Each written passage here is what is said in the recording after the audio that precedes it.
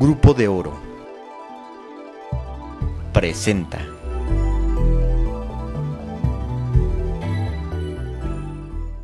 Los priistas michoacanos que compitan en el proceso electoral federal deben ser designados por sus capacidades y por su trayectoria política, más allá de las cuotas de género o sectores. Así lo consideró la secretaria adjunta del Revolucionario Institucional en la entidad, Rocío Santos. Aquí no es tanto que seas mujer o seas joven, aquí lo que importa es el trabajo.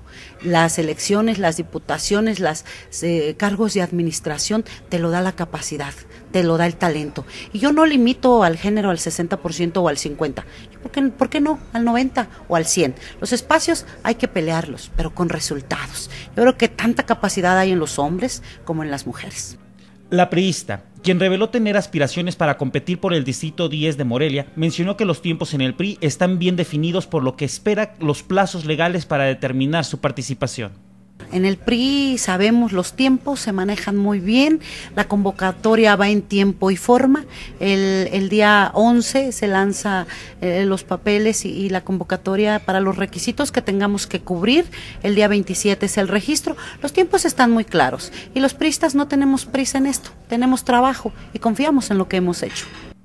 En ese sentido, refirió que el 11 de enero su partido lanzará la convocatoria y el 27 del mismo mes es el registro de precandidatos. Sin embargo, no descartó que se pudiera dar una candidatura de unidad en el Distrito 10.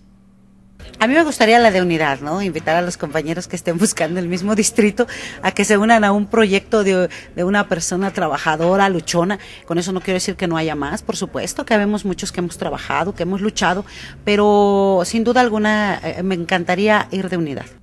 Finalmente, destacó que en su paso por el Comité Municipal del PRI y en las distintas funciones que ha ostentado en su trayectoria al interior del tricolor, le han permitido conocer las necesidades de los habitantes de la capital del estado, así como las expectativas que tienen en los legisladores.